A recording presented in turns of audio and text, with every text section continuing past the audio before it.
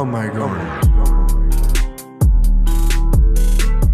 gracias a ti, Javi, por unirte acá al, a este live, por eh, ofrecer hacer tu, tu, exponer, tu, exponer tu investigación acá en, a través de las redes sociales japonistas. No, para, para mí es un gusto. Eh, mucha de esta investigación, bueno, voy a hablar más de eso después, pero tenía toda la intención de como devolverla al medio y devolverla a las personas que me habían dado la información para hacer mi tesis. Así ¿Mm? que tenía ganas de hacerlo con un grupo de difusión de cultura popular japonesa o asiática y pensé que japonista era perfecto para eso. Tenemos aquí a Javiera Reyes Navarro. Ella es bachillerato en Historia del Arte, minor en Estudio Asiático de la Universidad de Alabama, eh, máster en Arte de Estudio Asiático de la Universidad de Utah y doctor en Estudios Interculturales de la Universidad Autónoma de Barcelona, enfocado en interculturalidad en el Japón, cuya tesis abordó la recepción del visual kei en Chile y la formación de subgrupos culturales en torno al género, a este género musical. Así que ahora sí, formalmente, bienvenida Javi, qué bueno que esté aquí con nosotros y nos vaya a explicar desde lo más básico, apto para todo público, de qué se trata esto, hasta ya un contenido mucho más eh, duro para los conocedores que quieren aprender mucho más de este, de este género musical para algunos, estilo estético para otros. Bueno, ahí lo vamos a conversar. Empecemos por lo básico, ya que aquí nosotros difundimos la cultura japonesa y por supuesto no todos están al tanto de, de, estos temas tan interesantes. Entonces, partamos por lo básico, Javi. Eh, expliquémosle a la gente que se está uniendo acá y a los que quieren conocer eh, mucho más del Visual Kei, ¿qué es esto? ¿Qué es el Visual Kei? Porque yo he escuchado gente que dice que es un género musical, hay gente que dice que no lo es, que es un estilo visual solamente, estético. Eh, ¿Qué es entonces? ¿Cómo defines tú, según tu investigación, el Visual Kei? Mira, eh, ese fue exactamente uno de los primeros puntos con los que tuve que trabajar y que ya entré inmediatamente en conflicto, porque tal como dices tú, no hay, las, las, definiciones del Visual Kei son bastante ambiguas. Sí. Pero yo definitivamente lo defino como un género musical y pausa ahí entendiendo el género musical no necesariamente como la composición musical, sino mm. género musical en el sentido de toda la industria que acompaña la producción del visual kei y también en el sentido de algunos autores de definir un género musical también como las expectativas que tiene el público de lo que van a ser los lanzamientos de estas bandas. ¿Ya? A nivel de industria, el visual kei, por lo general, por lo general, obviamente siempre hay excepciones, tiende a moverse, en Japón estoy hablando, tiende a moverse el visual kei como en el ámbito del rock, por supuesto hay música electrónica, hay pop, pero por lo general es visto como un subgénero del rock a nivel japonés, como una, de hecho es visto como una como evolución o una rama del glam, y del hard rock. Es una mezcla de glam y hard rock. Esto es lo que dicen los estudiosos, los académicos japoneses. Y em, que tiene ciertas características. Algunas de ellas son, por supuesto, que hay una idea de causar un impacto visual y para causar este impacto visual es que se utilizan distintos em, métodos, ya sea el uso de maquillaje, eh, una puesta en escena muy bien formada, mm. em, existe tal como género un, como un mercado dedicado al visual kei. Existen disqueras que se dedican exclusivamente a visual kei. En las bandas, especialmente cuando son indies, tienden a moverse por eh, ciertas eh, live houses en Tokio y en Osaka. Mm. Y hay ciertos comportamientos de los fans en Japón que también son específicos al género. Entonces, yo lo partí definiendo como un género musical en ese sentido. Ya. También tiene que ver cuando hablamos de género, de qué bandas tienen conexiones entre ellos. Hay muchas, hay muchas em, como colaboraciones entre ellos, como un círculo o un ambiente. Y algunos, em, algunos artistas lo describen como eso, pero esta, esta reticencia a, describirlo como un género, pero es porque tiende a verse género como el sonido solamente. Y, y no hay un sonido del visual kei, aunque hay algunos autores que dicen que sí los fans de repente pueden decir, escuchar y decir, esto podría ser visual kei.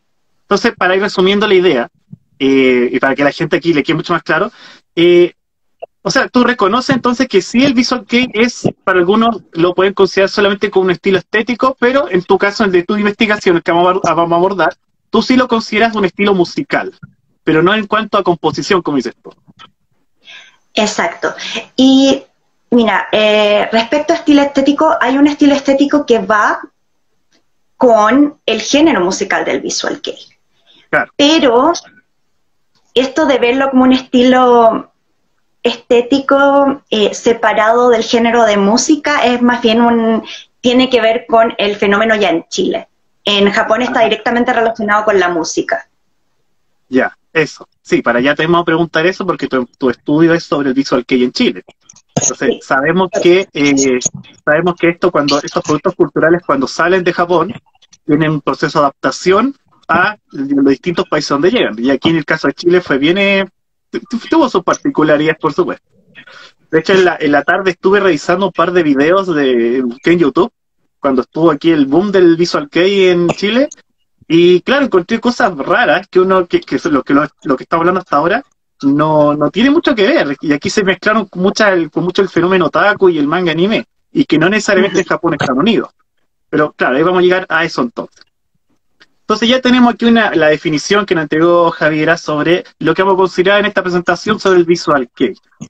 Eh, ahora pasemos, ahora ya que sabemos lo que es esto, este, este género, pasemos un poco, no sé si podemos abordar un poco de, la historia de este género, Javi, contexto, cuánto aparece, cuáles son los principales referentes, ah, si, si sigue hasta el día de hoy, se extinguió. Comentan un poco de eso. A ver, el género en Japón eh, surge, o sea, como, mira, la verdad es que el término visual kei no se usa hasta finales de los 90, ¿ya?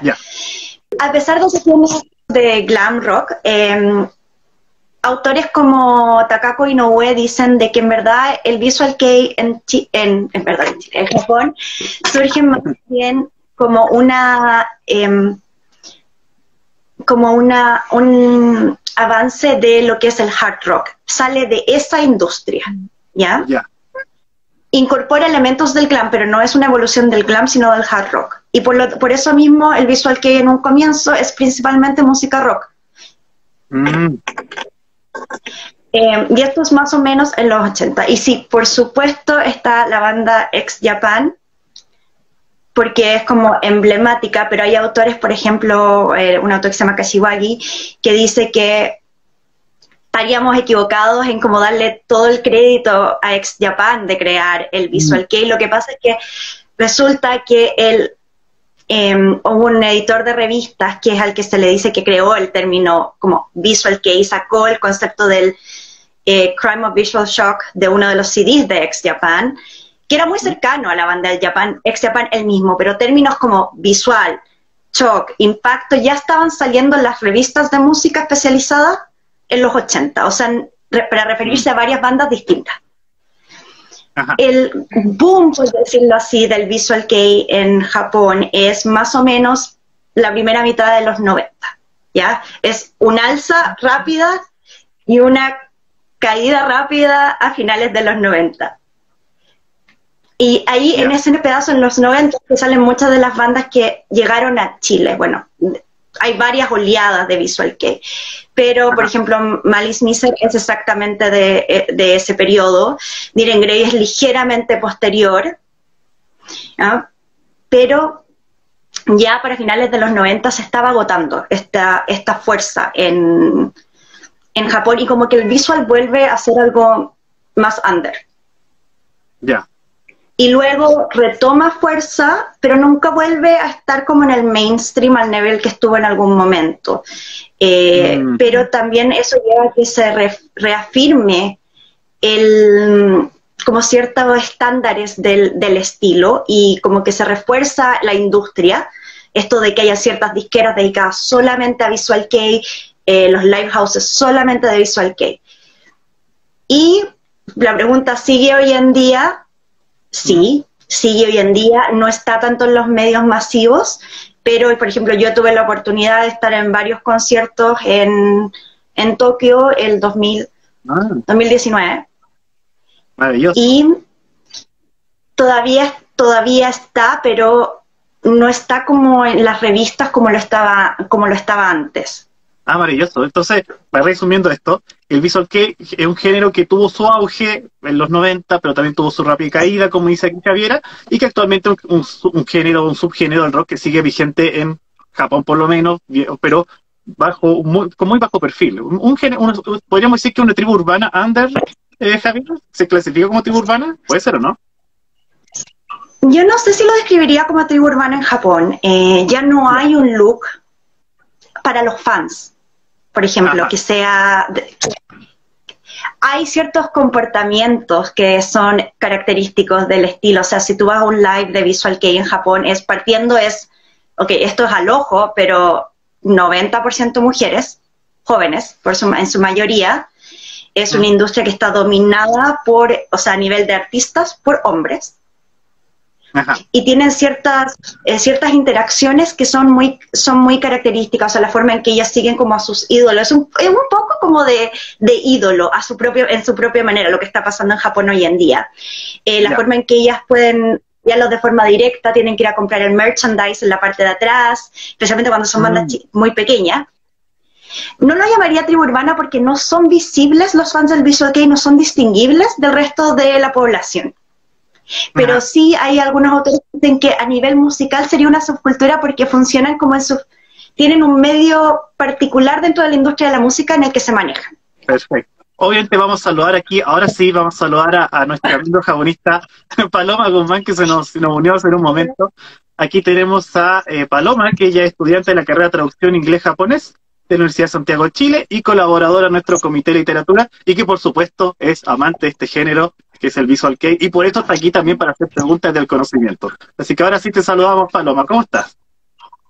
Hola, bien, les pido disculpas por la tardanza, tuve percances, pero lo importante es que alcancé a llegar, no me quería perder esta, esta instancia porque como dice yo amo el Visual Kei, de hecho, es la razón por la que terminé estudiando sobre Asia, así que... Ah, yo tenía que estar acá entonces, Paloma. Sí, la verdad es que me dediqué a estudiarlo mucho tiempo de perspectiva de fan, como a, buscar el cuál era el significado de, de los videos, la estética, todo. Pero quería preguntarle a Javier, aprovechando que este conversatorio sobre como el Visual Kei, el Visual Kei acá en Chile, desde mi experiencia personal, porque igual fui a Blondie, eh, ¿qué año? Como por el 2015, no, un poquito más, 2016, 2017, fui a Blondie y claro, es lo que dice Javiera, que había bandas, por lo menos para mí, muy buenas que son después de los 2000, pero siempre en Blondie predominaba Malice Miser, Laraine, como que nunca se superó esa etapa acá en Chile, como que, que se quedó como estancada en el tiempo. No había como cabida para bandas nuevas que eran posterior a los 2000, 2005. Siempre era como lo que había entre los 90 hasta el 2000. Entonces, ese fenómeno la verdad es que me llama la atención. No sé si Javiera puede aclarar un poco como si ha investigado, ha visto como por qué se produce ese fenómeno. Siempre no, había como cabida para las bandas nuevas, siempre fue un fenómeno como de bandas de los 90 hacia los 2000, 2003 como mucho. Mira, yo creo, quizás esto ya es como adelantando, pero ya que Paloma nos está preguntando, lo voy a responder al tiro. Eh, mira, yo creo que lo que pasó acá es que, bueno, ciertas bandas se convirtieron en emblemáticas a través de su, llegada y que llegaron a través básicamente del anime y llegaron a través de las revistas mm. españolas que eran distribuidas por una distribuidora argentina que son Minami y Dokkan. Entonces, por mucho tiempo, porque cuando empieza como el fandom, entre comillas, del Visual Kei en Chile, empieza en una época que Chile todavía no estaba tan conectado, o sea, como a principios de los 2000. Entonces, para recibir bandas nuevas dependíamos directamente de lo que llegaba, nos llegaba en las revistas. Y las bandas que ah. llegaron fueron Irene Grey, Malice Miser, Miser Larkensiel, que la canción tiene una, situación compleja, no son técnicamente visual kei, pero tienen un estilo parecido, que sí. Pero y esas fueron como las bandas eh, como emblemáticas que siempre se van a tocar, como en, tal como en la Blondie siempre se van a tocar ciertas canciones de los 80. Pero en Chile no tienen lo que tienen en Japón, que es una retroalimentación en vivo. Nosotros no tenemos bandas nuevas tocando constantemente y peleando porque los fans las amemos como allá, que, mm. o sea, es, es un, en Japón la industria es brutal, es un poco como el sistema idol, en el sentido de que son bandas muy pequeñas eh, que terminan generalmente endeudadas y dependen directamente de que los fans vayan a los live, o sea, tú vas a un live en Japón y tienes que marcar el ticket, o sea, cuál vas a ver porque un porcentaje de lo que tú pagaste se le va directamente a esa banda, pero solo después de que vendan cierto número de tickets. Pero nos, entonces tienen como ese incentivo económico para estar haciendo todo lo posible porque las, fans, por lo general, las, los miren. Acá, lamentablemente, no tenemos ese tipo de, de, retroalimentación de los fans. Y yo creo que por eso se mm. fue perdiendo, se fue perdiendo el entusiasmo y muchas de las bandas que quedaron fueron las bandas que habían llegado en el primer, bueno, como boom en Chile, y eh, que quedaron como las del recuerdo.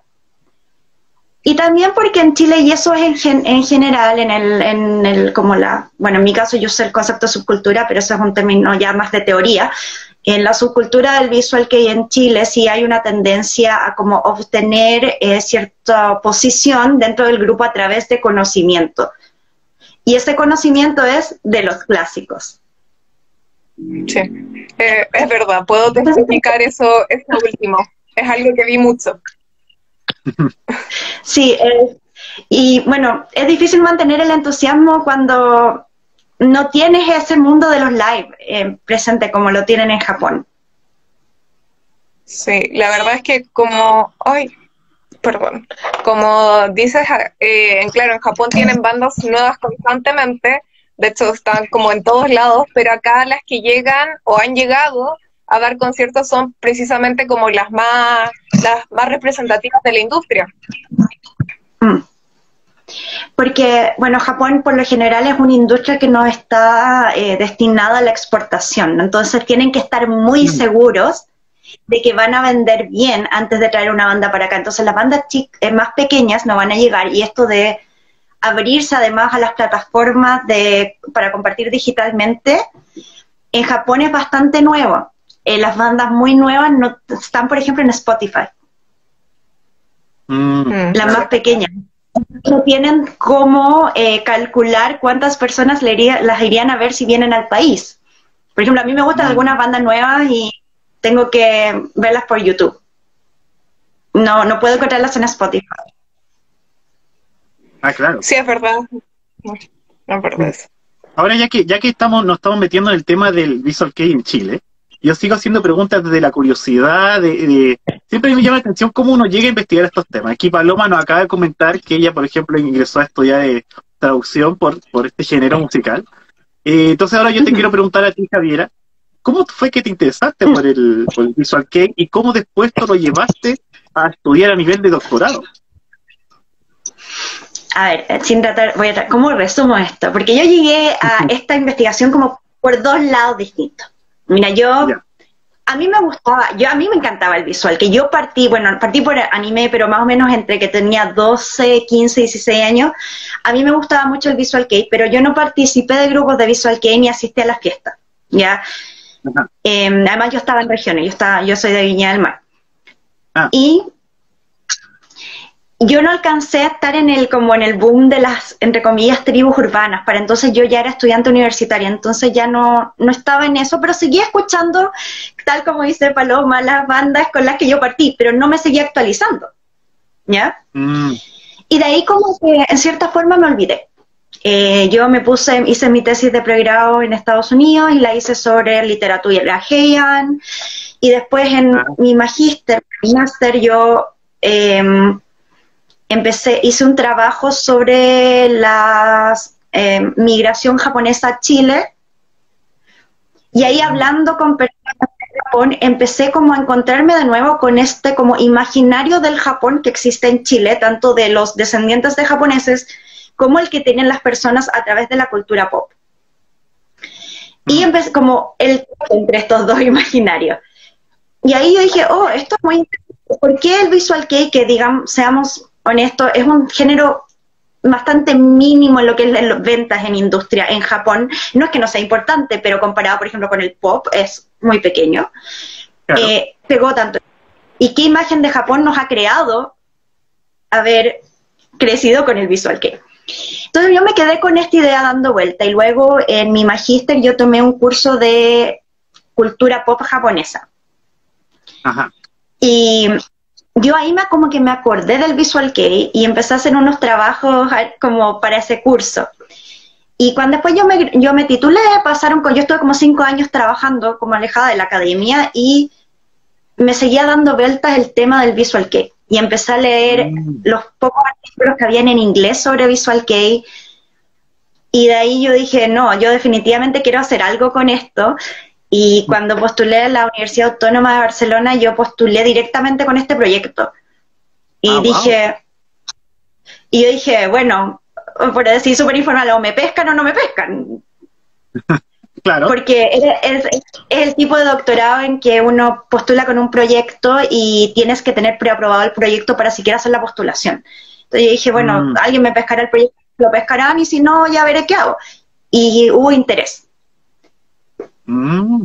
Y era también porque cuando yo estaba en Estados Unidos había gente, incluso gente a nivel profesional y académica, que me decía así como, pero ¿por qué a ti te interesó estudiar japonés? Y porque, así como tú como chilena, y yo así como, pero ¿por qué yo tendría menos interés que un estadounidense en la cultura pop japonesa? Y ahí me di cuenta que la realidad del nivel de cultura pop japonesa que habíamos recibido en Chile era bastante, una, era una rareza para la gente que lo miraba desde fuera. Y que bueno, entonces hay algo que, hay algo que investigar con las herramientas que hay eh, a nivel de la academia y hay algo que mostrar a nivel internacional. Y eso es lo que yo mm. tenía muchas ganas de hacer y que creo que lo, que lo he logrado en algunos congresos, con algunas ponencias y en general había, había bastante curiosidad con el tema.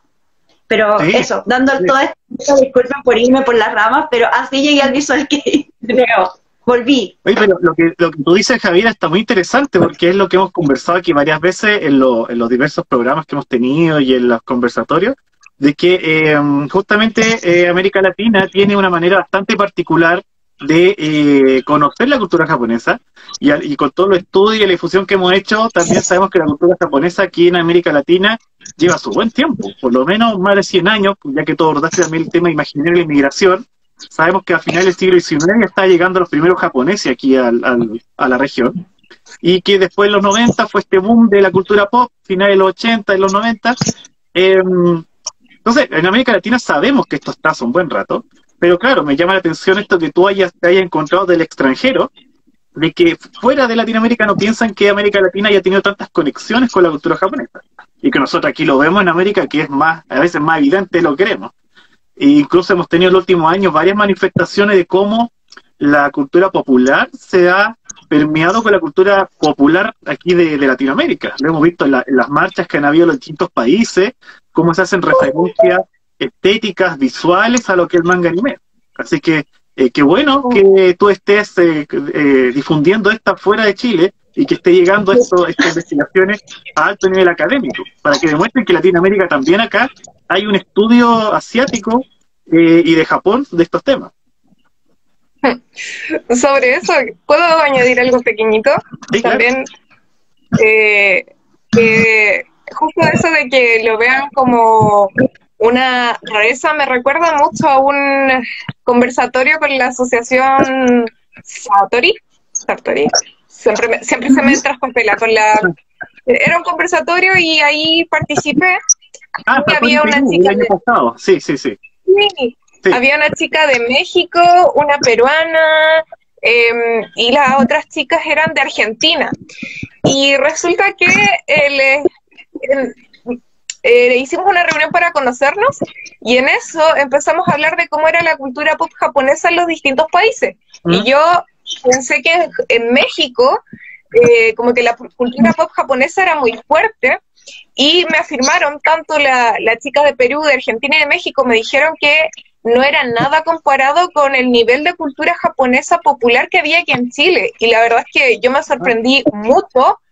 Eh, yo tenía la idea de que allá también habían convenciones o cafés de anime o todo lo relacionado y me dijeron que no, que era muy poco y que era una participación mayoritariamente masculina. Y yo les dije, no, acá está como repartido, diga, por decirlo de alguna manera.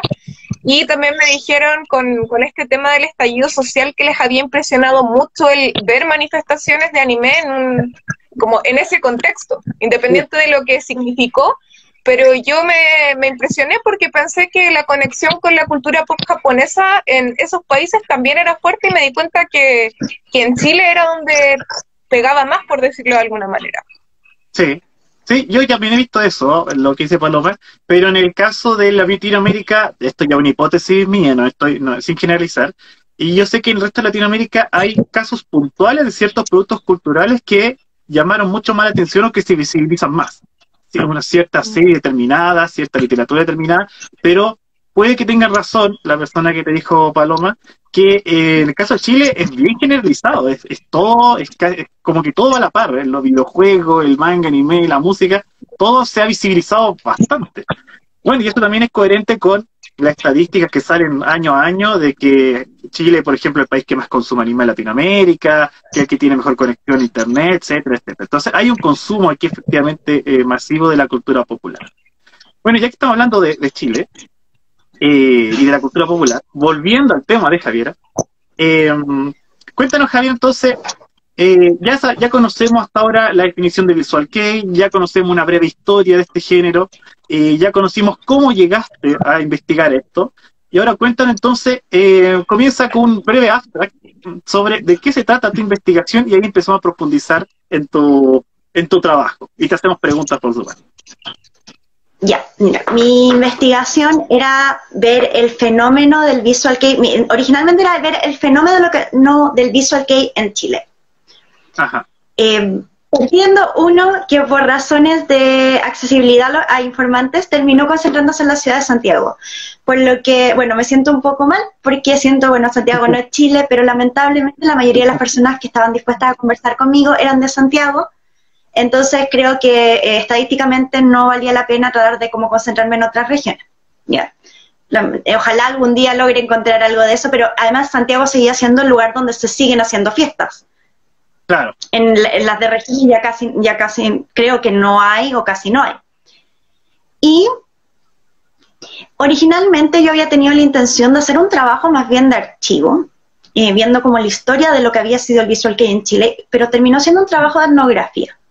Fue para mí una sorpresa, una grata sorpresa darme cuenta que la subcultura del visual kei estaba viva en Chile, era un grupo más pequeño de lo que había sido en algún momento, pero seguía existiendo.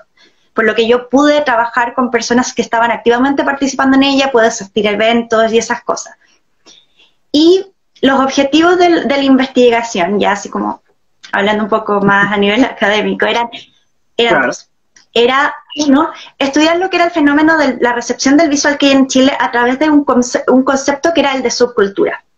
Yo partí eh, cuestionando si es que el concepto de tribu urbana era servía o no para estudiar lo que estaba lo que había pasado con el visual que hay en Chile y yo personalmente mm. llegué a la conclusión de que no bastaba. Ya. Y eso es porque, bueno, tribu urbana simple, o tribus es un concepto que se maneja mucho en la academia a nivel hispanohablante. a nivel internacional no necesariamente se usa, se usa el concepto de tribu y las neotribus eh, que las desarrolló Mafesoli, pero a mí me interesaba el concepto de subcultura porque tiene un como un bagaje teórico mucho más amplio. Mm. Y este es el que decidí aplicar. Y si después quieren puedo entrar a, a, eso, pero quería verlos como con ese, con ese lente, ¿no? Y lo segundo era unir lo que era esta expresión en Chile del Visual Kei a lo que era la tendencia a nivel global de la recepción de eh, cultura popular japonesa en distintos países. Ajá. Y, eso, es con lo que yo partí, con, esa, con, esa, con esos eh, objetivos, cuando empecé a tratar de contactar gente en Chile de Visual Kei y ver quién me contestaba y quién estaba dispuesta a hablar con esta persona desconocida porque yo venía llegando, yo había estado en Estados Unidos por 10 años y salí de la mm. nada, así como, hola, tratando de hacer un doctorado, por favor, alguien quiere conversar conmigo. claro, socializar desde el extranjero y me decía por un tema muy específico. Exacto. Mira, yo fueron eh, antes de seguir, yo quiero, no sé si hay alguien acá de los que participó en la investigación, aparte de, pero ah, yo tengo que dar unas gracias. Esto iba a decir, eh, si hay alguien aquí que participó en la investigación de Javier o quiere hacer preguntas, dígalo ahí y, más rato, cuando estemos terminando el conversatorio, le leemos los comentarios aquí a Javiera eh, para que lo responda o si reconocen a alguien. Ahí no, manden sus comentarios y los leemos al final. Sí, Javi. Mire, eh, yo eh, partiendo, avisando a todas las personas que participaron, yo hice, usé un sistema que daba letras aleatorias, o sea, ningún nombre es identificable. Así que está todo anónimo. Pero si hay alguien, agradecer porque, eh, o sea, las personas fueron extremadamente generosas de abrirme como sus situaciones personales. Algunos me abrieron sus casas, me acompañaron a los eventos, a las fiestas, a, hacer como entre comillas la previa con ellos. Fueron, yo me encontré con una generosidad en el ambiente que yo no me esperaba y que hizo que en mis momentos de más, de como querer tirar la esponja con la tesis, era cosa de volver a escuchar las entrevistas y reencantarme con lo que estaba estudiando. Así que para mí fue la experiencia más grata que podría haber tenido. yo sí, eso, eso es bonito, cuando, estos temas de asiáticos han sido muy difíciles de sacar adelante, recibir el apoyo y ver que hay gente que, que de verdad ve en estas investigaciones, eh, quiere ver frutos, quiere visibilizar lo que hacen, eh, eso da energía para seguir investigando esto. Y de hecho, estamos aquí, aquí en Japonista transmitiendo esto, porque efectivamente hay un nicho, hay gente que le interesa esto y esto sigue vivo de alguna forma entre los seguidores de la cultura popular. Por eso aquí tenemos gente que está participando, que está comentando y nos están viendo ahora. Así que muy bien eso. Mira, tú me, lo que acabas de decir, eh, Javiera, en, esta introducción que estás haciendo tu investigación, ya hay algo que me derribaste de lo que yo tenía entendido por el Visual Kei en Chile. Pero como te comenté antes, yo estaba, en la tarde estaba viendo unos videos un, poco nostálgicos de finales de la década de los 90, inicio del 2000, cuando los matinales, por ejemplo, empezaron a entrevistar a representantes de lo que eran las distintas tribus urbanas de la época. Entonces había entrevistas de gente que eran los Pokémon, que eran los emo, los otaku. Y una de esas entrevistas, justamente entrevistan a un chico que lo presentaban como un visual cake. Entonces primero decían que era una tribu urbana. Entonces todo acaba, nos acaba de decir que ese a lo mejor no es el concepto más preciso. Y también el chico, ahí está lo que decía, que este chico eh, eh, tenía una definición del visual que era más estética, más estética que musical, a lo asociado a una música, pero para él algo más estético. Y la entrevista terminaba con el chico diciéndole que para hacer un auténtico visual kei había que saber bailar. Y yo dije, pero ¿cómo bailar? Eso no lo he visto en los, en los videos de Kei, nunca he visto eso. Y terminaban, no me acuerdo en qué local, parece que en Juegos Diana de la época, cuando estaba, parece, en, Ahumada, terminaban bailando el Easy to Dancer o el Para Para Paradise, terminaban bailando la máquina de baile. Entonces, para terminar ese Visual Kei, había que, esa era como el, el, la, el, el, culmine, el máximo trofeo para hacer Visual Kei en Chile en esa época. Entonces, a eso, a eso iba al principio, diciendo de que parece que en Latinoamérica o en Chile, ahí tú nos dirás ahora, eh, había una manera bastante particular de ser considerado Visual Kei o entender el Visual Kei. Mira, eso tiene mucho que ver con cómo llega el Visual Kei a Chile. Em, por barrera tanto geográfica como idiomática, a nosotros el Visual Kei nos llega fuera de contexto. Sí, sí, sí. Y yo esto nunca lo voy a ver como algo negativo, porque para mí cualquier fenómeno es hermoso desde un punto de vista académico ya. Soy una persona súper entusiasta de lo que estudio. Y en cierta forma, esto permite que el público chileno llene los vacíos de información con lo que ya conocíamos. Y entonces, algo que yo descubrí es que el Visual Kei en Chile, más que ser una localización del fandom del Visual Kei a nivel internacional, es una extensión de la, de la cultura alternativa chilena en torno a un producto japonés. La mm. forma en que se comporta el ambiente visual es muy parecido al que se comportan otras eh, escenas o ambientes alternativos en Chile. Lo que pasa es que alrededor de lo que se reúnen es un producto extranjero. Entonces, mm. en Chile siempre ha sido importante, como parte, muchas culturas alternativas son eh, culturas de como baile, ¿no? Como de la blondie. Y también es porque, especialmente en un comienzo, a principios de los 2000, el visual que en Chile no tiene mm, como límites muy marcados. De hecho, yo no hablaría de una subcultura todavía.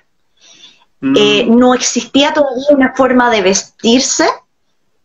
Em, había mucha mezcla entre, por ejemplo, eh, las máquinas de baile y el visual kei y el anime. Y además yo diría que a principios de los 2000 ni siquiera había una diferenciación entre lo que era ser, ser otaku y ser visual kei. Porque ser otaku, al menos yo hablo desde mi punto de vista, porque cuando, y aquí yo pude poner algo que tenía que ver con mi experiencia, que cuando a mí me gustaba el visual kei a principios de los 2000, eh, tú decías otaku y significaba que te gustaba el anime, no significaba un estilo de vestir ni de ser. Esto empezó después. Y es después que estos límites empiezan a marcar más. Entonces, en un momento era muy poroso. había una mezcla entre uno y, bueno, las identidades siempre son múltiples, eso es importante. Nadie, mm. o sea, uno puede decir, yo soy visual kei, pero las personas tienen muchas identidades en muchos distintos momentos de su vida y a la vez, y a veces tienen muchas identidades a la vez. Y muchas mm. personas escuchaban visual kei y escuchaban música gótica, o escuchaban visual kei y escuchaban J-pop y en un comienzo yo, por lo que tengo entendido, no hay un conflicto mayor al respecto. Es exactamente cuando los medios, y no es que sea malo, pero cuando los medios empiezan a preguntar, así como los matinales, ¿qué es ser visual? ¿Qué es ser gótico? Bueno, los góticos están en los 90, de hecho, anterior. Que las personas se ven obligadas a, preguntarse qué es ser visual y sacar estas definiciones. Mm. Y ahí es cuando empiezan a como definirse y también el ser otaku pasa a ser también, entre comillas, una tribu, con una forma de verse y de traer chapitas. O sea, yo era otaku y yo nunca tuve una chapita en mi vida. Pero esto de las chapitas es, es cuando empieza cada grupo a demarcarse. Y esto es ya segunda mitad de los, de los 2000 más o menos. Sí, sí. Eso, yo, eso me, está haciendo reflexionar. Sí, que la, la, definición que muchos manejamos y aprendimos de la tribu urbana y de, estos de, esto, de, estos grupos que estaban en el Academy, claro, son definiciones y eh, delimitaciones que vienen del mundo del periodismo, y a veces hacía una citación a algún sociólogo, eh, algún antropólogo, pero era algo bien eh, generalizado y que se comparaba con las tribus urbanas que habían habido en las décadas anteriores. pero claro, ahora que hacemos esta revisión, 20 años después de estos, de estos fenómenos, Ahora, claro, hacemos una revisión más intercultural, una revisión más antropológica, etnográfica, como dijiste todo hace un rato. Y claro, hacemos un revisionismo de lo que fue esta época, y ahora sí podemos refinar el conocimiento eh, y volver a entender lo que fue este fenómeno ya de, con, el, con el peso que merece esto, estas manifestaciones culturales, como tú dijiste, extranjeras, y que acá tienen su, una, una particular forma de ser consumir y manifestarse, eh, y que a todos nos influenció de alguna manera, los que estamos aquí, por lo menos japonistas. Así que me, parece interesante este revisionismo eh, que está haciendo tú. El revisionismo no buen sentido, que no se entiende, no se instanciona la palabra. Revisionismo de, volver a darle vuelta, analizarlo, eh, estudiarlo, en ese sentido. Eh, Paloma, ¿tenías una pregunta? Ah, es, bueno, no sé, pregunta, comentario, no, no tengo la seguridad de lo que sea, pero me quedé con algo que dijo Javiera, y es que eh, igual hay un como un desfase o una desconexión, porque de, alguna manera, esto es una apreciación personal. Eh, siento que no se puede comprender todo el contenido que hay en el Visual Kei por los factores estéticos, por los videos, y esto me siempre me dio vueltas en el Visual Kei, que es bastante conceptual en las cosas que hace y que tiene mucha crítica social, mucho desahogo, videos muy fuertes. Quien haya visto videos de Diren lo sabe muy bien. Pero hay otros que igual requieren un poco como de revisarlos más de una vez. Entonces a veces siento que se pierde como el, no es el foco, pero siento que el mensaje que está entregando el video, la banda o el concepto a veces no llega con claridad porque tiene elementos propios culturales y de la realidad de Japón que a lo mejor no toda la gente conoce. Entonces, ¿cómo aprecias tú eso, Javiera? ¿O tienes una impresión que, puedas aclarar como de mejor manera eso, eso que estoy diciendo? Bueno, partiendo creo que lo empezamos en un momento en nosotros, eh, que, mm, bueno, partiendo que se, se pierde mucho la letra, ¿no? porque para los chilenos, ahora ya no es tan así, porque encontrar traducciones es más fácil, pero hubo un tiempo que era mm. muy difícil encontrar traducciones, eran todas traducciones muy amateur, o sea, con un esfuerzo enorme de lo que es el trabajo de ser fan y trabajo no pago, básicamente, y entonces ya perdimos la parte lingüística. La parte pero, y la parte imagen, hay cosas que tienen que ver, especialmente ciertas bandas que apelan mucho a lo que es cierta imagen eh, muy de Japón, ¿no? Y hay cosas que tienen que ver con la sociedad japonesa en el momento en particular que también se van a perder. Sin embargo, creo que el Visual Kei igual es hasta cierta forma un pastiche de muchas influencias del glam que, eh, de Occidente Mientras que a la vez el glam de Occidente, si uno lo piensa, también tiene, tiene, es como un círculo, porque lo hablaba con una profesora en algún momento, porque en Chile recibimos el Visual Kei como de Japón y lo traducimos, pero en Japón están traduciendo toda esta imagen y este conjunto de imágenes que vienen como bagaje del gótico y del rock, que vienen de Europa, pero Europa ya había ya había adaptado cosas asiáticas durante el periodo del orientalismo. Entonces hay una mezcla constante. Entonces hay muchos puntos que en verdad están en común. Y yo creo que mm, también por eso que logra pegar el, el, visual que hay acá, porque la imagen, por, especialmente ciertas bandas como Malice Miser, de que logran pegar porque tienen esta imagen que eh, hace referencia al gótico europeo, que nos es mucho más familiar. Sí. Entonces, pero claro, ahí uno empieza a pensar, bueno, una cruz o una crucifixión para nosotros es algo bastante fuerte porque tenemos un bagaje histórico del catolicismo. Mm. En Japón no está ese bagaje histórico tan fuerte porque no es una sociedad mayoritariamente cristiana, pero igual se mm. usa ya. Entonces, va a pegar de formas distintas, no necesariamente, y tampoco queda claro, los mensajes siempre se distorsionan, entonces tampoco sabría yo decir si es que quizás en Japón reciben el mensaje claro y nosotros no. Ese es el punto. Esa es una, buena pregunta. Es que yo siempre tengo este video en la cabecita de una banda que a mí me gusta mucho, que es Kizu, y tienen un video llamado Heisei justo como la era que pasó de Japón, y por lo que yo entiendo del video, hace como que canta en el fondo el estrés que vive la sociedad y van haciendo como, es un video que conceptualmente yo lo veo, lo tuve que ver por lo menos más de 10 veces, y hace un paralelismo muy fuerte del desahogo de lo que significó como el estrés de la era Heisei y de lo que fue. Entonces, como esas cosas siento que a veces se pierden cuando no cuando no está el conocimiento, no tiene por qué estar de todas maneras, pero siento que se pierde un poco el lado conceptual, que es por lo menos lo que a mí más, más me llega, más me interesa. Sí, yo estoy de acuerdo que, por ejemplo, partes históricas podrían perderse. Yo creo que siempre se van a perder. Em, a mí, obviamente, más que. Porque yo me quise. Yo pensé en concentrarme en eso, pero a mí no digo que no sea algo en lo que hay que fijarse, yo creo que hay espacio para hacer mucho trabajo al respecto. Em, pero a mí lo, me interesaba más que qué era lo que se perdía, era qué era lo que se creaba. Mm. Era, era ver este espacio para que, qué era lo que estábamos proyectando. O sea, y digo nosotros, yo nunca fui parte de la, como del, la cultura del visual que a mí me gustaba, pero yo no estaba, literalmente no estaba físicamente ahí en Santiago. Pero sí, a mí me interesaba qué era lo que se creaba, que era este imaginario de Japón, no era tanto contrastarlo con el, entre comillas, Japón real, era ver qué, qué era lo que se estaba creando. Y ahí es que yo entré más bien a, claro, qué imagen de Japón hay entre los seguidores del Visual Kei, qué imagen del Visual Kei mismo hay entre ellos. Pero estoy de acuerdo que sí, que hay mucho contexto que se va a perder. Y especialmente, en un, especialmente al comienzo en que no teníamos acceso a Internet y a Wikipedia y a buscar, o sea, cosas, por ejemplo, las mismas eras de Japón, la mayoría de las personas no podía llegar y buscarlas. Mm. Y en un comienzo el visual, el como ambiente visual en Chile estaba lleno de rumores de que se había muerto algún cantante en Japón, que no sé quién se había casado. Era una cantidad de rumores. Bueno, no digo que en Japón mismo no haya rumores, si alguien entró alguna vez al foro de Tanuki, es rumor tras rumor. el nivel de rumores que nos llegaron acá era otra, era otro nivel. Es verdad. Oye, interesante esta la, la, regresión que estamos teniendo varios aquí al, al, pasado.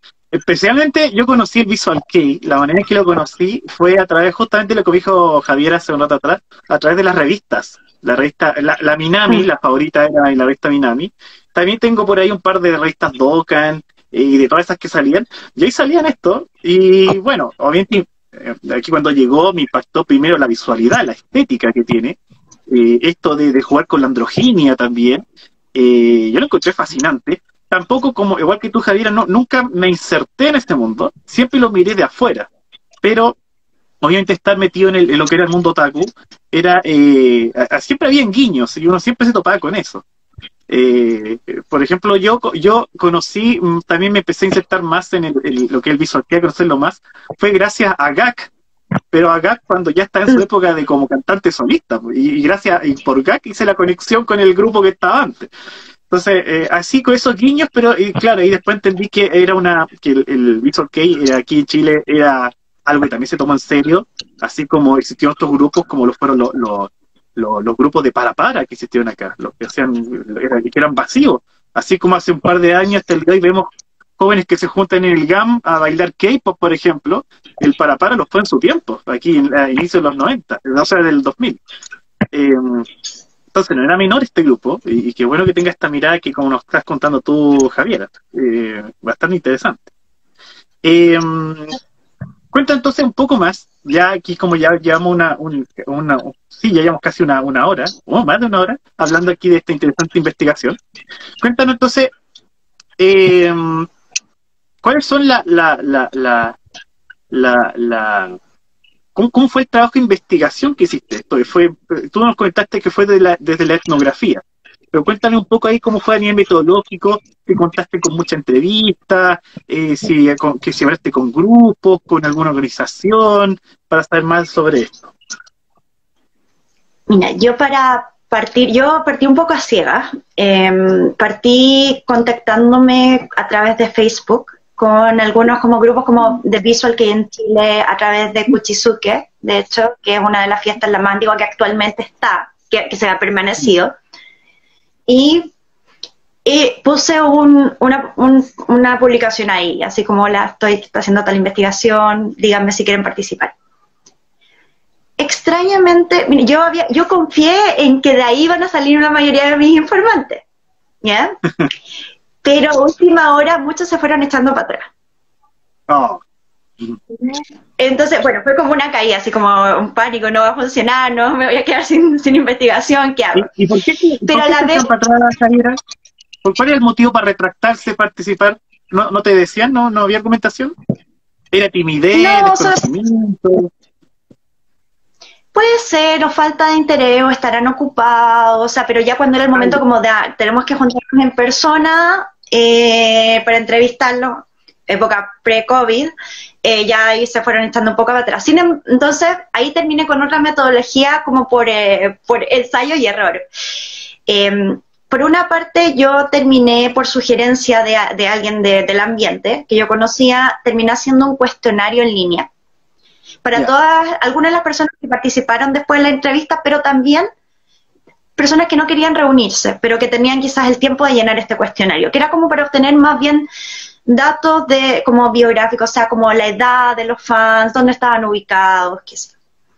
Mm. Y ahí sí tuve, hubo 75 respuestas en total, y de ellas oh. yo tomé 51 que eran los de la región metropolitana y ya fue los que saqué los detalles. Las otras están al final en mi tesis, están como en qué región estaban cada uno, pero los detalles eh, son los de los 51 que eran de Santiago, bueno, región metropolitana.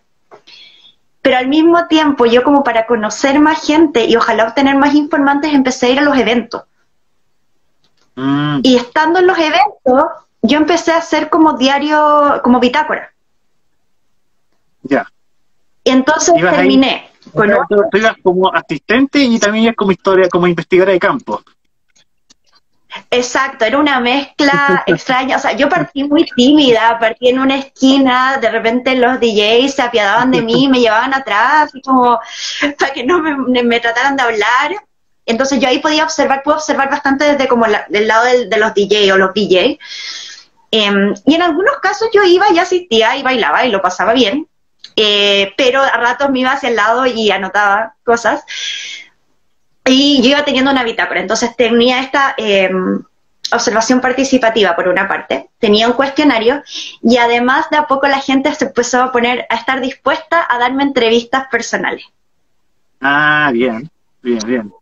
Y ahí terminé con 22 eh, personas entrevistadas. Eh, creo que tuve dos entrevistas grupales y el resto fueron todas o individuales o de a dos personas máximo. Pero había personas que, por ejemplo, no estaban dispuestas a ir al grupo por alguna razón, ese día no podían, y había personas que no querían hablar solas conmigo, entonces llevaban a alguien más.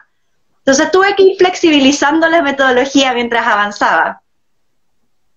Oye, pero ese, ese comportamiento, esa reacción de, los, de los seguidores de Visual Cake también dice mucho de, de, los seguidores, del comportamiento y de, y de cómo se enfrentaban a, o a lo mejor cómo causaba curiosidad de que este, esto estaba siendo eh, estudiado, era, era, objeto de estudio esto. También yo creo que había una reacción a esto como, wow, ¿qué está pasando acá? Que alguien nos está estudiando cómo nos comportamos. Sí, em, hubo algunos cuestionamientos a rato, pero yo lo entiendo perfectamente, así como, pero qué, ¿cuál es tu objetivo? ¿Pero qué es lo que está tratando de sacar de esto? Yo no, si estoy escribiendo una tesis. Em, claro, eso. Pero yo fui muy afortunada en el sentido de que yo puedo decir que yo llegué en un espacio para mí casi ideal de ser una persona, ¿cómo decirlo?, externa y interna a la vez porque yo venía de afuera, yo no era de Santiago además, entonces yo no conocía a nadie de estas personas, no las conocía antes de contactarlos para la tesis, pero a la vez tenía un conocimiento de Visual Kei. Mm. Entonces, salud.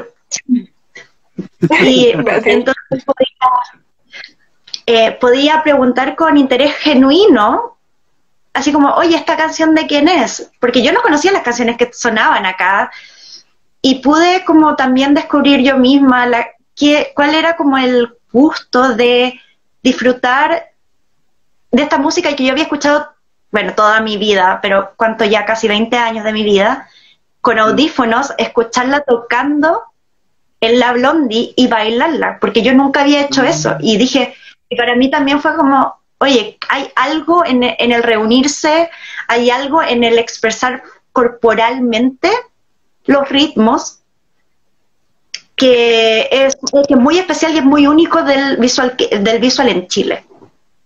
Sí, sí, sí, sí, sí. Ah, qué bien eso, qué bien. Mira, eh, Paloma tiene un par de preguntas para después pasar a las preguntas que han estado haciendo aquí la gente, ¿o no? Eh, ah, no, yo, yo solo quería acotar, y bueno, Javiera puede puede complementar y usted también que lo que yo me he dado cuenta cuando interactúo con personas que están interesadas en Asia, en cultura pop, ya sea de, China, Corea, de Japón, se da un perfil introvertido mayoritariamente. No sé si eh, estoy en lo correcto, pero por experiencia personal suele ser un público más introvertido, entonces no sé si a lo mejor esa habrá sido una de las razones por las cuales hubo gente que se retractó. Esa sería como mi pregunta, ¿cómo lo ves tú de, desde tu investigación? Bueno, esto ya pasa a nivel, yo creo, como psicología, entonces no sé si yo puedo, yo puedo decir de una manera súper subjetiva, sí, había mucha gente que era bastante tímida. Em, muchas de las personas, de hecho, que aparecieron en los medios ya no estaban disponibles. Eh, no sé si dejaron el ambiente o no estaban en las páginas que yo busqué, pero no pude hablar con ellos, algunos pocos sí, pero la mayoría de los que había sido como la voz del, entre comillas, la tribu urbana, no estaban. Entonces muchas de las personas que llegaron eran personas que no habían sido muy visibles tampoco. Eran personas que disfrutaban del visual, del visual y incluso algunos de los que organizan los eventos de visual son bastante privados. Mm. Entonces sí, yo diría que es una, son quizás comparado con algún otro movimiento, podrían ser un poquito más, más introvertidos. Mm. Entiendo, entiendo. Bueno, yo, como dices, es una percepción sumamente subjetiva y yo concuerdo con eso porque lo, lo, es algo que he vivido, es algo que, bueno, puede que no se me note, pero yo considero una persona introvertida también. Entonces, y generalmente en los círculos donde me muevo es muy raro encontrar una persona que le guste los temas de Asia y la cultura pop y que sea extrovertida. Como siempre se cumple el, el patrón de ser personas introvertidas. ¿Por qué no lo sé? Pero... Bueno, también siento, bueno, pero esto ya es personal, por favor, no me citen. Siento que tiene mucho que ver cuando te gustan cosas como muy nicho, ¿no? Em, uno llega ahí porque quizás tuvo tiempo de reflexión o porque se interesó en cosas que no eran como el mainstream en su momento. Entonces, hay un perfil de las personas que terminan en el, entre comillas, el ambiente del manga anime eh, como J-Music. Em, pero también había personas muy visibles, pero sí, yo diría que por lo general son personas un poquito más introvertidas, pero no sabría con qué compararlo, ese es el problema. Como no he hecho investigaciones con otros grupos, no te diría quién, quién es una persona extrovertida, cuál sería el perfil. Pero sí, eh, fue muy necesario en mi caso como tener ese, ese tiempo de acercarme y, pasar tiempo en el ambiente para conocer a las personas y que se abrieran a conversar conmigo. Mm. Por, suerte, por, suerte mis tutores de tesis eran muy comprensivos y me dijeron, no, el trabajo de campos, o sea, tú puedes planearlo, pero se hace ahí, en el campo, y tuvieron paciencia de que las personas llegaran a, hablar. Entonces, sí, tú, eh, fue, fue una buena experiencia, pero sí se demoró. Mm. Mm. Mira, aquí voy a leer algunos comentarios que te han llegado, Javiera. Eh, Ah, te, saluda Blade Z, dice que lo entrevistaste. Blade Z. ¿Quién? Lo entrevistaste para Blade ah. Z. Él. Sí, está viendo ahí dice que te entrevistó. Dice aquí también saluda banda visual genérica. Un saludo para quienes resisten. Aguante el visual key. Eh, ¿Qué me dice acá? Ah, gente de región. Aquí hay aguante Viña. Dice Azalia 94. Alguien dice por ser no la detuvo. Ok, sí. Eh, hay una. Ah, Miyu Visual Key dice lleva los 12 al euro. Justamente por el tema Visual Key. ¿Qué me dice aquí? Um, Dice, y también, ah, también dice que hay alguien que hacía arte, hacía merchandising de Visual Kei en esta época. Ah, y cuando hablamos del tema del estallido, cómo se manifestaba la cultura popular, aquí hay algo que tú mismo dijiste, y dice aquí que tras el estallido social, la cantidad de personas que salían del closet otaku fue grande después del estallido. Sí, sí. se ahí eh, al principio eran todos tímidos ante el estallido social y después explotó esto de ser otaku y sinceramente la cultura popular que de esto el estallido. O sea, es verdad. Muchos salen de closet como dice acá. Eh, ¿Qué dice acá? Ah, ahora Reiji dice que fue una tremenda investigación. Night, bien dice, yo le mandé fotos de mi gato. no sé qué se refiere a eso. Ah, no, no, no, investigación. Vortex Nostalgia dice, ¿dónde será publicada esta investigación? ¿Será publicada? Bueno, miren, yo puedo... Eh, estoy trabajando en publicaciones, pero vamos lento, pero voy. Eh, pero está disponible la tesis, está en línea. Yo puedo mandar después a Pablo el, el enlace. Sí, claro. Eso sí, eso sí, bueno, está completa en inglés y por eso mismo quería tener esta oportunidad de compartirla con la comunidad en castellano, en caso de que hubiera alguna ah. barrera a ese nivel, pero está, está, originalmente en inglés. Sí, entonces envíanos después el link, Javier, por interno y lo difundimos aquí en, redes sociales para los interesados. Sí. De que aquí alguien decía aquí que esta relación entre el Visual Kei y, el, y, y las máquinas de baile está completamente investigable ese tema. Sí, es... Muy interesante, está abierto. Eh, yo solo lo toqué un poco de cómo se mezclaba todo, pero es que, mira, hay una investigadora que es, bueno, esto ya es como otro tema, pero que es Won Jung Min, una profesora de la Universidad Católica que tiene, que trabaja en el hip pero ella, por ejemplo, plantea el hecho de que en cierta forma todos los fandoms de cultura asiática en Chile son fandoms de chinos, ¿ya? Trabajo con el tema del oh. orientalismo, de, qué carga, qué bagaje trae el concepto de, los chinos, ¿no? De, y, por supuesto, en esa bolsa viene las máquinas de baile. Bien. Ahora, quería comentar algo que estaba buscando esto. Eh, ¿Cuánto se llama? Eh, por este chico que decía en uno de los programas que bailaba, que le comentaron hace harto, tiempo atrás, y que decía el visual que dice baila, y me acordé de Psycho Lesemu, de esa canción Geki, Geki, ay, la tengo por acá, Geki Ru, Geki, ya, Geki ahí me Esa, Geki I Merry Go Round, y claro, con esa música sí se podía bailar, es una canción súper añeja, pero me hace pensar que a lo mejor ese tipo de visual o ese tipo de canciones inspiraba a que la gente bailara, por ejemplo, con coreografía. Sí, especialmente esa definitivamente tenía una, una coreografía. Y yo diría de hecho que esta conexión entre el baile y el visual kei y el anime y el visual kei no está tan mal hecha. La gente cree que solo se conectó en Chile por ignorancia, pero no es cierto. Eh, hay autores en Japón que han establecido la conexión entre el manga y el visual kei y siempre han estado conectados.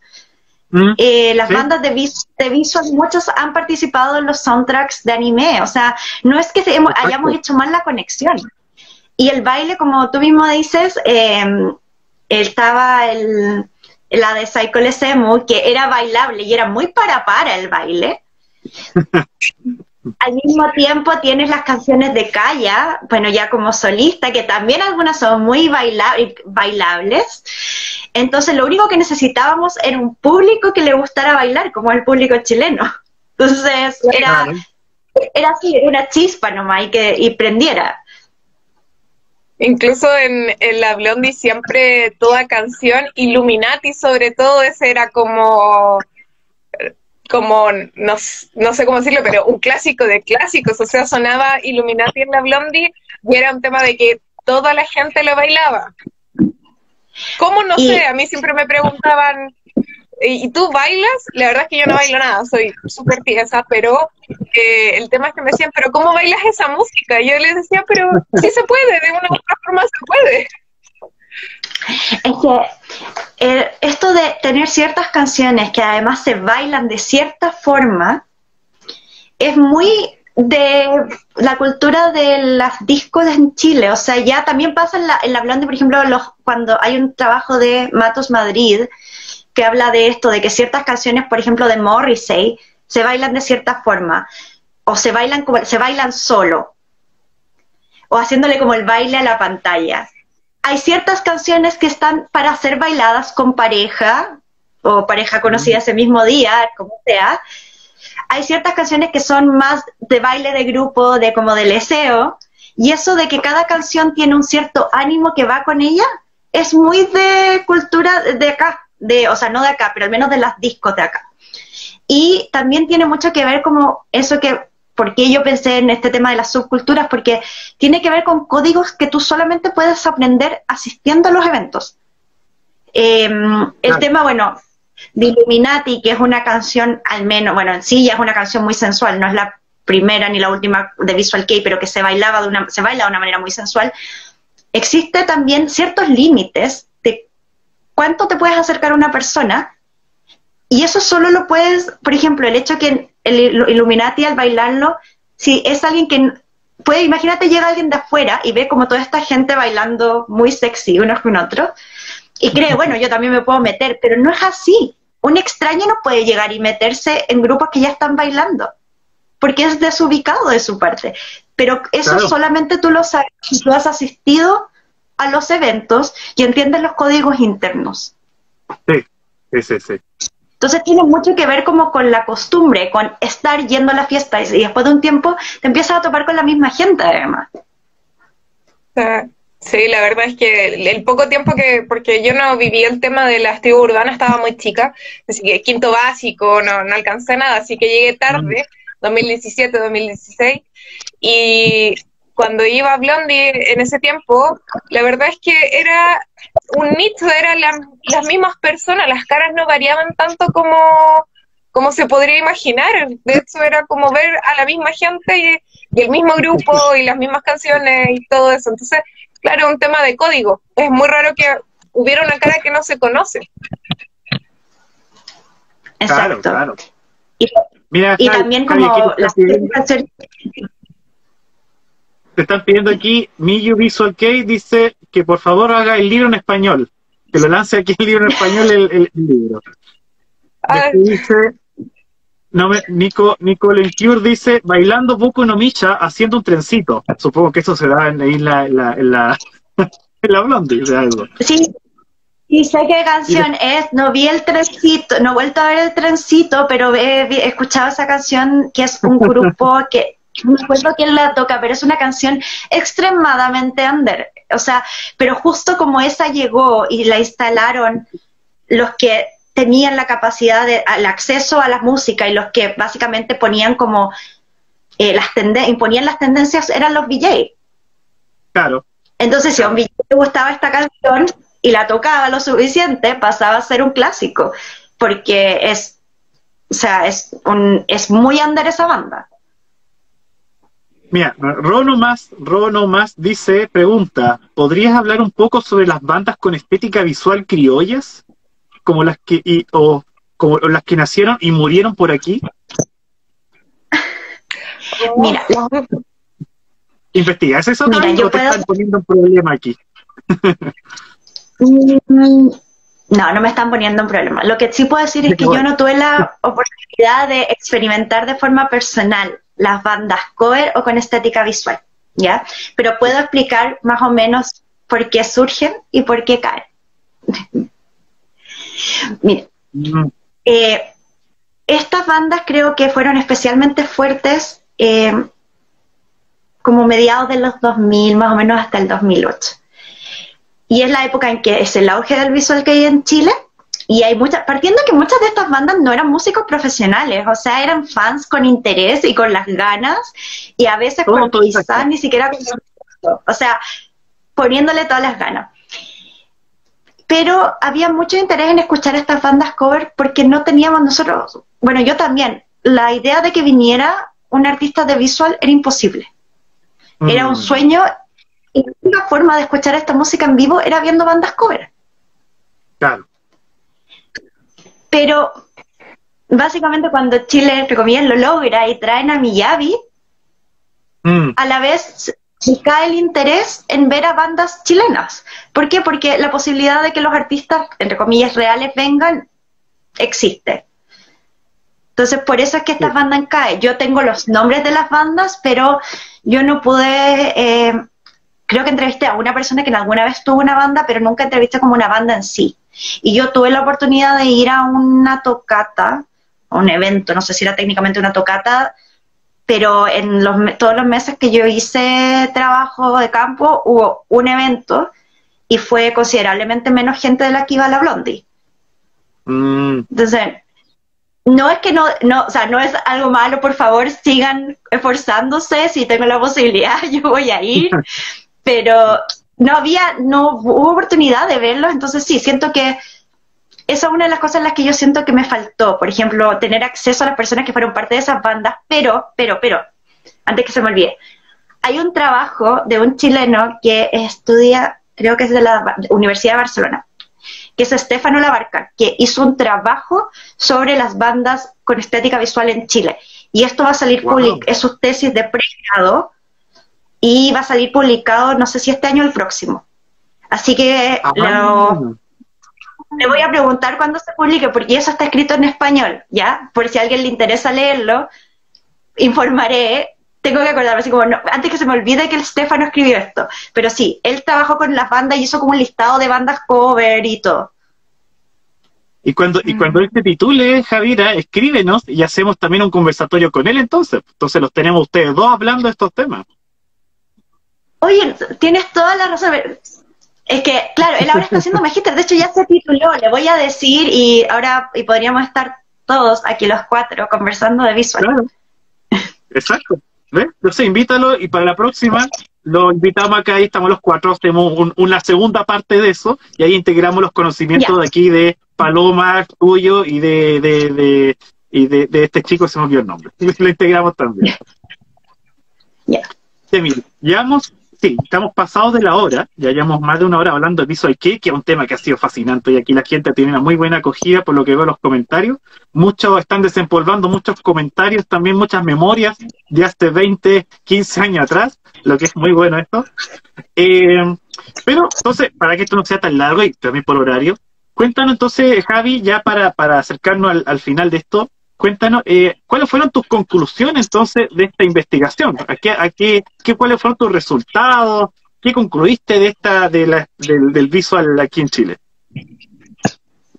Bueno, una ya la compartí, ¿no? Que era que yo eh, me encontré que más más que ser una versión local de los seguidores del Visual Kei mundial, esto lo que era era una subcultura, subcultura que era un subset, o sea, era como una parte más pequeña de las culturas alternativas chilenas, que lo que la diferenciaba era que, era un producto, em, un producto eh, extranjero, pero que en verdad como subcultura se comporta como una subcultura chilena.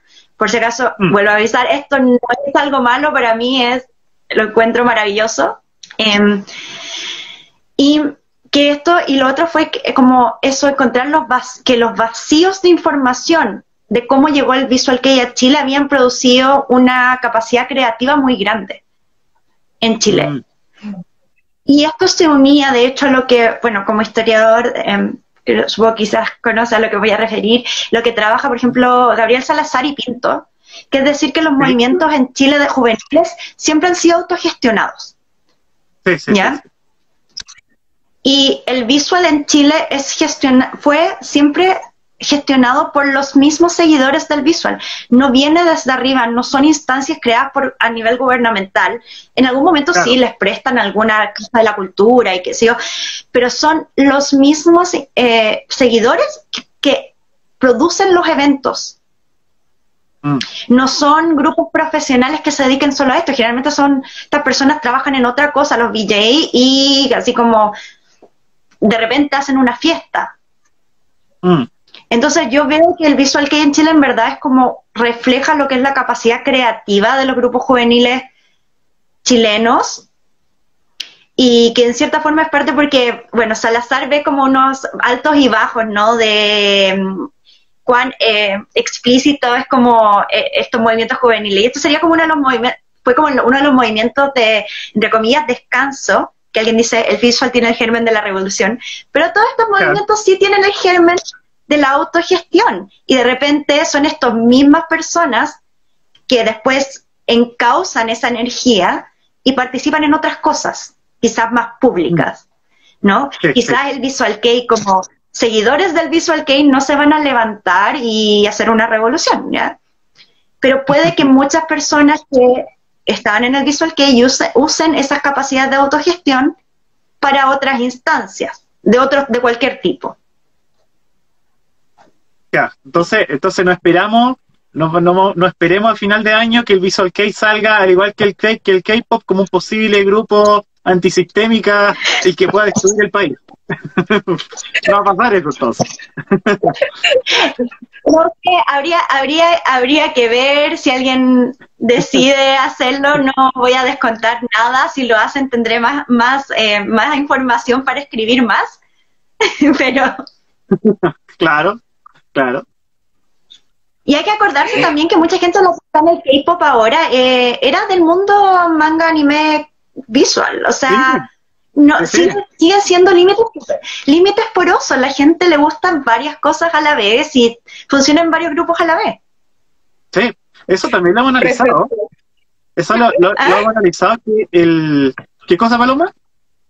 Presente, que por experiencia ah. propia yo, yo, veí mucho, mucho, mucho anime, todavía me gusta, leo uno que otro manga, pero también el visual, el K-pop por otro lado, K-dramas, novelas chinas, cosas. Entonces, como que es una cosa, pero te toma todo. El soft power asiático está muy fuerte ahora.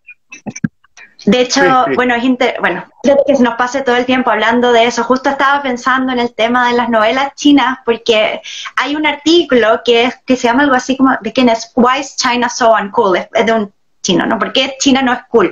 Y que tiene que ver que China no había logrado manejar este, este tema de soft power, de la cultura pop. Pero yo ahora veo mucho interés, y mío propio, por las novelas chinas, y yo misma, o sea, creo que, creo que tenemos mucho que hablar, Paloma, porque yo también caí en el hip hop y no he dejado de escuchar visual y yo no siento un conflicto al respecto, algunos sí, pero yo disfruto de las culturales. Yo ahí atrásito en mis repisas no se aprecia, pero tengo mi colección de, de CDs de Visual K y tengo mis cosas de K-pop y otras cosas, entonces sí, tenemos mucho de qué conversar, ¿verdad? Porque toma, y hablando como de estudios asiáticos, que obviamente me gusta la cultura popular, pero también me llama mucho la atención como ese fenómeno de que todo se integre y que no sea un tema como de que si escuchas o ves esto, se impida lo otro, sino que se combine. Sí, sí, sí. Y eso es mucho de Asia. ¿eh? Asia no hacen estas separaciones que estamos acostumbrados aquí en Occidente. Dice, todo se tiene que estudiar de manera separada, cada uno con su, con su área. Aquí no, siempre hemos hablado aquí, la cultura asiática tiende a ser bastante holística todo está puede ser puede conectarse de manera muy armoniosa. No están estos choques que, que estamos acostumbrados aquí en Occidente. Igual es, increíble, de repente a mí me pasa como que estoy con una, una canción de Visual Cake como muy fuerte, como Diring Day, y de repente sale K-pop y es como un cambio bien, bien drástico, pero es agradable, no sé, eh, eh, es interesante cómo se produce eso es como, es como esta, esta también esta mezcla criolla que hay entre los metaleros y que le gusta la cumbia. También siempre me ha llamado la atención esa mezcla. y no queda mal tampoco, no queda mal. Eh, yo creo que yo creo que eso era algo más de, de antes, porque igual en, en, las clases, en los talleres que he dado, tenía oportunidad de conocer mucha gente que dice que también integra todo y que le hubiera gustado que cuando empezó todo este tema de ser otaku, de escuchar o que le gustara la música, el visual o el K-pop, que antes era como un tema de, ah, esta persona es rara, como se segregaba un poquito más, y ahora es como algo que está muy, muy expandido en general y se complementa mucho. Entonces, ese fenómeno me parece súper interesante. Sí, sí. Pero como, como decía antes, eh, parte muy integrado, ¿verdad? Después viene un periodo de autodefinición en que se fractura y después se reintegra. Entonces, creo que, sea, que entre comillas, qué lástima que alguna gente llegó justo cuando estaban todos separados, porque eh, mm. era mucho más fácil. Cuando escuchar visual no te obligaba a autoidentificarte como visual, o sea, solo te gustaba el visual pero yo creo, como dice Palma, que estamos llegando de nuevo a eso, eh, a una, como una integración en lo que es cultura popular asiática, sí eh, está el, el, peligro, entre comillas, de perder mucho lo que son las tensiones, relaciones internacionales. En Asia hay cosas que simplemente se nos escapan si no entendemos lo que son las relaciones entre Japón, eh, China continental, Japón, Corea, entonces muchos conflictos que ocurren allá y que, o sea, ¿por qué tal que drama fue cancelado? ¿Por qué están cancelando a tal artista de K-pop? Eh, que a nosotros se nos escapan si no entendemos la historia, historia de, de las relaciones allá. Que no, que, pero igual encuentro que es muy positivo que, nos gusten distintas cosas y que también haya un interés en, en, aprender más de la historia y ojalá haya más instancias así en que se pueda conversar y informar como el público general. Sí. Bueno, de hecho aquí nos estamos dando cuenta de que material para, un, para una parte 2 de este conversatorio hay aquí, por supuesto, hay, material, así que lo podemos hacer sin problema. Mira, aquí voy a leer los últimos comentarios que han llegado a partir de esta conversación. Eh, voy a ver qué dice acá. Eh, ah, un big, dice, Gro nomás, dice un Big Data entre el Visual Key y la Revolución Pingüina. Mira, como, como hubiese sido eso. Igual uno participó en esos tiempos en las marchas escuchando Dylan Gray. Ah, mira, ¿será así? Marchas pingüina con Dylan Gray. Después dice. Eh, ah, ah, acá hay un metalero cumbiero. Naidian, un metalero cumbiero. Malice Miser se bailaba con un paso de cumbia. dice Roma. y eh, ah, acá hay una copucha de farándula. Dice aquí Nicole MQ dice cancelado a Gag por negar el COVID. ¿Será? Eh, creo, que es real. Bueno, Gag em, en cierta forma se salió de lo que era el mundo Visual Kei en el sentido de que no pertenece a las disqueras y no se mueven los live houses de Visual Kei.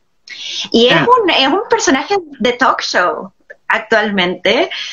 Y, con sus fans y con gente que no le cae muy bien. O sea, es como bueno, yo no, no voy a dar opinión, mucha opinión, pero sí, parece que negó el COVID o le bajó el perfil y bueno, cada, quien con sus cosas. Quiero arriesgarme a decir algo. No me vayan a funar, por favor, pero es que me acuerdo siempre de los memes del hombre de plástico cuando hablan de GAC. Es que es verdad.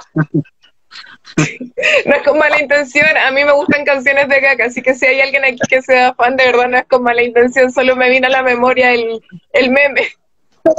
Ah, Siento que tiene una voz, muy, muy bonita. Genial, genial la voz de No, es muy buena artista.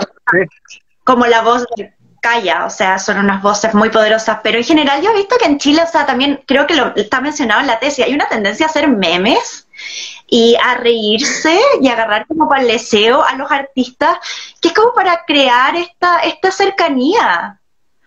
Y yo he visto muchos fans de reírse de Gak y cosas que no sé si serían tan aceptables a nivel japonés, pero acá no, no he visto problemas, así como cómo te atreves a reírte de Gak. O sea, creo que están relajados al respecto. Yo creo que con el tema del visual sí, pero con el K-pop me da la impresión que es un poquito más complejo. No, que no se ofenda, que nadie se ofenda. Yo, a mí también me gusta el K-pop, pero me parece que como que ahí hay un poco más de, de, de shock, como puede tener, o sea, y esto ya es como una, así como tirando una hipótesis media volada, pero quizás tiene que ver exactamente con que con los del visual nosotros no teníamos cercanía, no, no estaban en Twitter en esa época. Creo que Kios hizo un Twitter hace relativamente poco, o sea, 10 años, pero poco. Pero en cambio con los de K-pop se sienten más cercanos porque te puedes comunicar directamente con ellos. Sí, es cierto. No, no, no le había hecho el peso, pero claro, los V-Live, Twitter, Instagram, un montón de cosas que con artistas visual cuando se partió y fue el boom no habían. Entonces tratar, o sea, esa cosa de decirle la tía a um, Yoshiki es muy como acercar, de, de reírse, pero de acercarlo. Con el K-pop tú no tienes esa necesidad. Mm. No, no, le había tomado el, no había hecho la conexión, pero sí, toda la razón, no lo había... Eso yo creo que tendría que verla alguien que, un psicólogo más bien, pero podría ser. Sí, no, pero es una buena teoría, concuerdo totalmente, concuerdo que es una muy buena teoría. Aquí alguien dice, aquí dice Escape Frontal, dice, lo más cercano que había en esa época para stalkearlos eran su Ameblo, no, era, ¿cómo se llama este juego? El Ameblo, el, el, ah, el, ¿Cómo se llama este juego de que uno tenía una habitación? Era el. Oh, Dios mío. Pero claro, era una forma bien antigua de, de encontrarse gente conocida en, en, estos juegos sociales que existían hace 10, 15 años atrás. ¿Javo? No. Javo, eso, Javo. ¿Habrá sido Javo? Qué antiguo. igual, yo creo. Miren, hoy en día que. Eh, Google Translate hace maravillas. Igual, si a alguien le interesa la copucha visual, yo recomiendo que se encuentren el, link, que yo a mí me ha costado mucho encontrarlo porque de repente como que se lo saca en la página, que entren a Tanuki. Si quieren escuchar lo que se está diciendo actualmente de los artistas, con todas las fealdades y con todos los rumores, es Tanuki. Es, ahí es donde las bangias, o sea, las fanáticas de visual en Japón van y se dice todo. Uy. Es verdad. Uy. Eh, si alguien le gusta las polémicas, es, interesante, pero igual tiene que ir con advertencia porque hay rumores como bien, no sé si decir fuertes, pero están como sus rumores ahí bien, bien raros. Sí, quizás no, no quiero que por favor no me citen, o sea, no, no, no digo así, por favor, con cuidado, con cuidado con tu propia salud mental, si vas a ver eso, porque si hay rumores, como dice Paloma, hay rumores bastante fuertes. Sí, es verdad, sí. Ahora son rumores, no, se sabe exactamente si se confirma o no se confirma, pero aún así eh, los rumores son como bien, bien raros. Ya, para, para ir terminando entonces, para, para ya que, uy, ya como una hora y media de conversación, interesante conversación, necesaria porque nunca habíamos hablado del Visual Kei aquí en Japonista Chile, así que muy necesario. Eh, para ir cerrando, eh, Javi, cuéntanos si vas a, qué vas a hacer con tu trabajo ahora, lo vas a publicar pronto, aunque ya nos dijiste algo, eh, vas a hacer algún otro conversatorio, exposición, así que aprovecha aquí de promocionar cualquier actividad que tenga o publicación relacionada con esto. Cuéntanos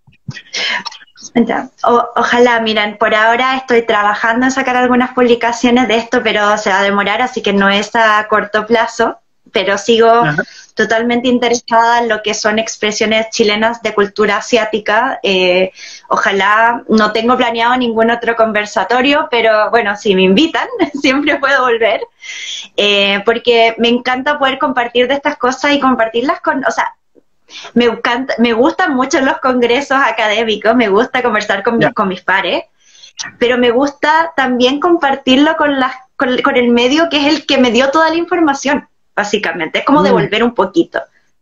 Claro. Entonces, eso me gustaría. Y me, y me gustaría escribir, porque la tesis está en inglés, sí me gustaría sacar una publicación en inglés, pero me gustaría mucho sacar una en español. Mm. También. Sí, pues, es que, sí, y tienes que hacerlo, porque si este es un estudio de este fenómeno en Latinoamérica, ¿cómo el público latinoamericano va a quedar sin esta información? Por supuesto. Exacto. Así que, como, como a ti te ha gustado participar acá y aquí la gente está muy activa y le ha gustado el tema, por supuesto que podemos hacer la parte 2 de este conversatorio, ya ahí invitando a tu colega que nos mencionaste. Y lo invitamos y ahí hacemos la parte 2 de esto, por supuesto. Sí. ¿Cierto? Paloma, ¿algunas palabras finales? ¿Consultas finales? Ah, o sea, no, consultas no, pero gracias por darme, por permitirme estar y compartir este espacio y de nuevo me alegra mucho eh, saludar a Javiera. Nunca pensé que nos volveríamos como a encontrar, fue como me alegré mucho el saber que que había, había ido todo bien con tu investigación y todo, así que si podemos compartir otra instancia así en japonistas o donde sea, yo encantada, de verdad. Ah, qué bueno, o, un cafecito por lo menos como la otra vez. Ay, sí, sí, para hablar de, de todo, va a ser un intercambio de cultura pop y, y estudiar también, que es como darle como esa vueltita académica que también me gusta. Sí, mucho. Sí, para, y esto es lo que hacemos que es japonista, que nosotros podemos subir a un nivel académico y de difusión cultural. Todos estos aspectos de la cultura pop se pueden, por supuesto, convertir en objetos de estudio y difundirlos para entender mucho más eh, Japón en otros ámbitos menos tradicionales, pero más populares, por supuesto. Bueno, yo aprovecho aquí a agradecer a Paloma, porque Paloma fue la que hizo los afiches, por ejemplo, Javi. Ella hizo los bonitos afiches que viste, eh, Paloma lo, hizo. Así que gracias, Paloma, por, la, por los afiches que afortunadamente funcionaron, aquí a Javiera le gustó y se difundió este conversatorio. nada, no era necesario mencionarlo, pero ustedes saben que para lo que necesiten en ese sentido yo me animo, me gusta mucho diseñar y crear cosas. Sí, sí, sí. Bueno, yo le decía, le decía a Pablo al principio, bueno, aparte partiendo, antes de que se acabe, o sea, muchas gracias por esta instancia, me es, me ha sido muy grata, estoy muy contenta, si es que no se nota, eh, estoy muy emocionada de poder compartir esto y que ustedes me hayan dado la plataforma y eh, también muchas gracias Paloma por los afiches porque yo le decía a Pablo que yo soy nula para lo que es diseño y, los gráficos, soy muy mala. Y llegó una, llegaron estos afiches tan bonitos y yo dije, no, al tiro sí, por favor. Sí, así que ven, puedo hacer los afiches de nuevo. Así que doble agradecimiento para, para Paloma. Yo tampoco soy hábil que, eh, armando cosas así estéticas visuales, no para nada, lamentablemente. Y bueno, agradecemos también a todos los que estuvieron conectados en este hora y media, creo, de conversatorio. Muchas gracias a todos los que hicieron preguntas, comentarios, a los que se, los que se rieron con estas anécdotas del Visual Kei, a los que se emocionaron recordando memorias de hace 15, 20 años atrás. Y bueno, estén atentos para un próximo conversatorio, porque aquí ya nos comprometimos, de que va a haber una parte 2, parece que seguro que hay una parte 2 ahora. Así que si les gustó, estén atentos como siempre a las redes sociales. Eh, ah, y ahí Escape Frontal dice, qué tremenda distancia para revivir la buena época, se pasaron, gracias. Bueno, gracias también a ustedes por, por escucharnos eh, en este live. Ojalá, ojalá tengamos otra buena época. Eso es lo que quiero decir. Lo único que nos está evitando otra buena época es, bueno, esto antes, perdón Pablo, que te sigo interrumpiendo. Pero siento algo que quiero decir rápidamente es como esto es mi mensaje súper informal al final de haber terminado esta investigación. Gente, tienen acá una cosa tan interesante, estos eventos de Visual Cake, que no se pierdan. O sea, ustedes creo que no entienden lo que es el como el privilegio de tener eventos de Visual Cake en que uno va, comparte con la gente y puede bailarlos, por favor. Que una vez que se acabe el COVID, que, que siga quizás una vez al año, pero en verdad que no se, que no se vaya a perder. Si algo muy interesante y la gente de afuera lo ve con mucho interés. Sí, sí, sí. Además, si el, K-pop pudo, el K-pop pudo, que es música desde Asia, ¿cómo no va a poder la el J-pop, el J-rock y el, visual K, por supuesto? Falta ahí más eh, eh, compromiso, más difusión solamente. Ya, entonces lo dejamos hasta aquí, hasta la próxima y nos vemos en una próxima ocasión. Muchas gracias a ustedes dos, Paloma, Javi, por estar aquí. Gracias. Chao. Chao, chao.